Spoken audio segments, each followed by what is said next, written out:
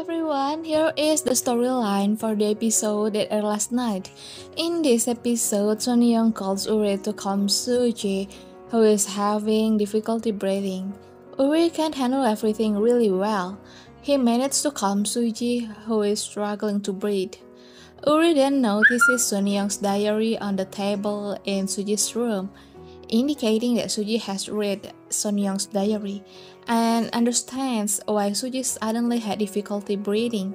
Suji admits that she now knows everything but still struggles to fully comprehend it.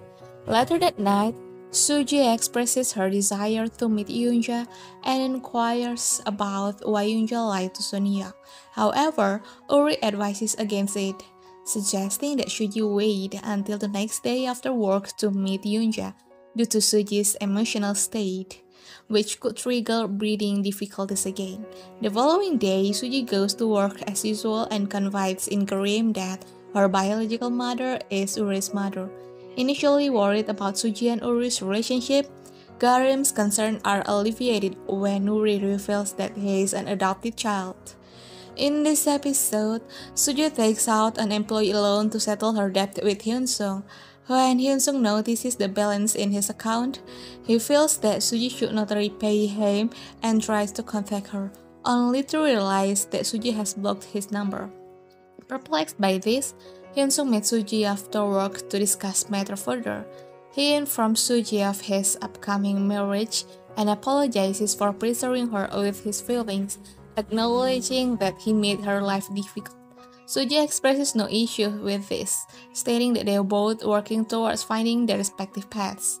Later, Suji visits Jangsu's house to confront Yunja about the lie told to Sun Young 25 years ago. The detailed conversation between Suji and Yunja can be found in the video previously uploaded.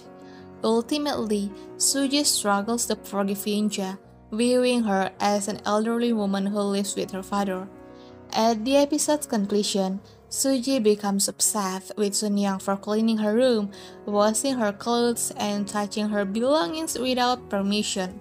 Suji believes that Sun Young's action, although well intentioned, cannot heal the wounds in her heart.